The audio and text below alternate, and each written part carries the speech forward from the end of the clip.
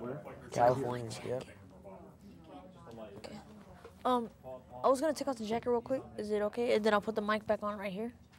Yeah, I can do that for you. Cool. Thank you. You want to take your coat off? Yes, please.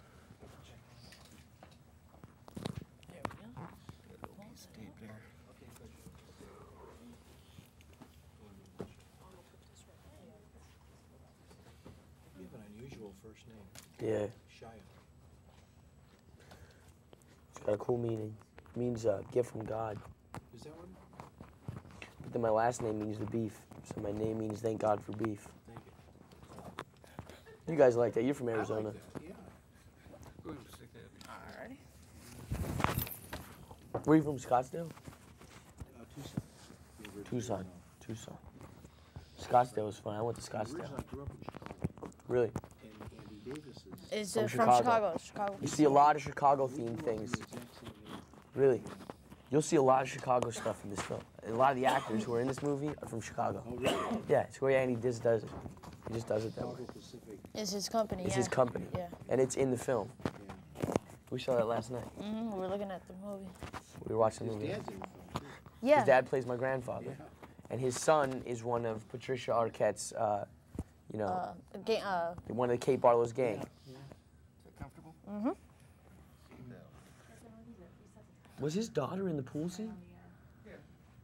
Oh no, she asked him to. She, he asked her to do it, and she said no. She said Oh, no. really? Yeah. Yeah. He's trying to get the whole family in that movie, though. Attention, rolling. Whenever you're ready. Okay. All right. Jen? Or Khleo and Shia, good to meet you guys. Shia, check yourself before you No, wreck I just yourself. did that on purpose. I'm Shia, taking you. Because tell us what it means. It means gift from God. Shy means gift from Yeah. God, which And is last great. Name? Last name means the beef. So in total, it means, let's say, thank God for For beef. beef. Thank God for beef. Yeah. Okay, all day I've been thinking I'm going to blow his first name, and I did, but at least we got the story from you guys. Do you agree with me that the kids that read this book, Holes, love it? Ernie loved the novel, Yeah. uh, Louis Sachar's novel. That they're going to like the movie because he wrote the screenplay And was on set every all the time, Right. And it's very true to his novel. Would you guys agree with that? Very. Yeah.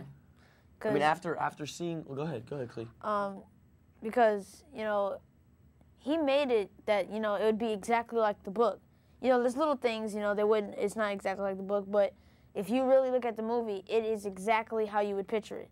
If you were thinking it in your mind, that's this is how you would picture it. Uh, especially the breaking away to three different stories at three different times, and you tie, it ties together so beautifully in Right. the Yeah. movie. Yeah, yeah. The editing was great on the film, and that's that's one of those things you notice after you filmed it. You know, it's like we were filming it, but we were filming three different movies at the same time. You know, we're filming my personal life, the life at the camp, and then Kate Barlow's stuff. Yeah. So like I wasn't around for most of Kate Barlow's stuff. So when we first saw the film, it was like we were watching a whole new thing because we didn't know anything about division. We weren't informed about it, and he was just going. He was just like, boom, boom, let's go. pump this out. And it works. You read the book several times. Yeah. So this when you were cast for this part as caveman, it had to be like a dream come true. Well, I had read the book after I read the script. Oh, okay. I read the script before going into audition. Um, then I got the role and uh, met Louis. And after meeting Louis, I was intrigued by Louis and decided to read the book because of Louis, not because of the you know the script. I mean, the script was written by the same person. It seemed like it'd be the same thing. I just wanted to see his writing style, so I read Holes.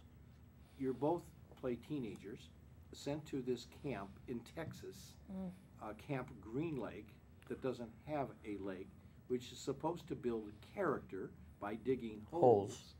And did it develop character by being working on the set? Well, this guy, the only thing it developed for us, he got a heat rash right away. Yeah. A heat rash, and his tell him about the heat rash, Clee. Uh, I got a heat rash in my thighs uh, the first two weeks we were there. And um, I went to go ask the uh, medic for some lotion so I can, you know, make it, you know, just calm it down. Because it was burning. So um, she ended up giving me the lotion that has the uh, Alcohol in it. alcohol in it. Oh my God. So I'm jumping around in the school trailers screaming. They can hear me on set. Like, who is that screaming? And it's, you know, they had to then we just flush over, me down with water. and Khleo was breakdancing, and we're like, "Ah, Khleo!" I was burning. Just, it hurt so much. But you know, Well, out there in the desert, yeah. Life in Death Valley. Uh, it's it's the kids are gonna li- everybody's gonna like this movie. It's a good family film. We're hoping. And, uh, It's a mystery too. And It's a mystery, you were too. saying, it's three different stories. Yeah. There's, there's just a lot going on, and you guys did a, just a wonderful job, and I want to congratulate Thank you. Thank you. There's just so much more to talk about, but we are out of time. But I hope our audience takes time, whether it's in Japan that are watching this interview or all over Arizona. Don't miss Holes. It's a winner, believe me. You, sir. I love you already. Yeah, we gotta give him a name. What do We didn't give him a name. We didn't give him a nickname yet. Ah,